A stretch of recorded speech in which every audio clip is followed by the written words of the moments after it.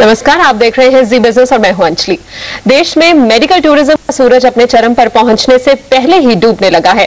देश में इंफ्रास्ट्रक्चर की कमी के कारण मोटी जेब वाले विदेशी मरीज़ देश के बजाय थाईलैंड, सिंगापुर और मलेशिया का रुख कर रहे हैं।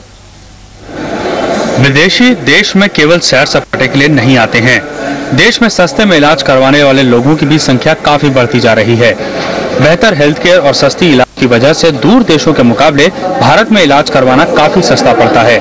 लेकिन पिछले कुछ समय से सिंगापुर, थाईलैंड, टर्की कुआलालंपुर जैसे देश भी भारतीय मेडिकल टूरिज़्म को कड़ी चुनौती देने में लगे हैं। या Thailand is a country which is very strongly focused on medical tourism उसके अंदर वो पेशेंट को इतना वीआईपी या रॉयल ट्रीटमेंट देते हैं कि एयरपोर्ट से लेके उसको, उसकी सारी व्यवस्था, होटल में ठहराना वगैरह वगैरह। भारत का मेडिकल टूरिज़्म बाज़ार करीब दस हज़ार करोड़ रुपए से ज़्यादा का है और देश में इलाज करवाना भी काफ़ी सस्ता है। अमेरिका में जहाँ हार्ट सर्जरी के लिए ढाई लाख डॉलर खर्च करने पड़ते हैं, वहीं भारत में यह सिर्फ़ सत्तर हज़ार डॉलर में हो जाता है।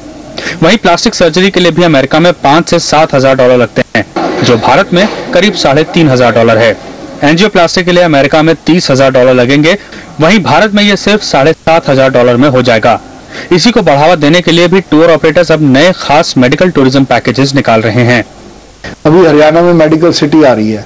उसमें सारे हॉस्पिटल्स होंगे वर्ल्ड क्लास एक ही जगह पे और हर स्पेशलिटी आपको एक ही जगह पे मिल जाएगी। तो आदमी को कहीं जाने की ज़रूरत नहीं। वर्ल्ड स्टैंडर्ड होटल्स होंगे पास में रिलेटिव्स होटल में रह सकते हैं सारा कुछ एक जगह में हो जाएगा। जानकारों का मानना है कि भारत में न सिर्फ़ इलाज सस्ता है बल्कि इलाज के बाद की ज़रूरी सुविधाएँ भी काफ़ी बेहतर हैं। लेकिन भारत में ज़रूरी मेडिकल इंफ्रास्ट्रक्चर की कमी के चलते जानकारों का मानना है कि इस क्षेत्र पर दक्षिण एशियाई बाज़ार हावी हो सकते हैं।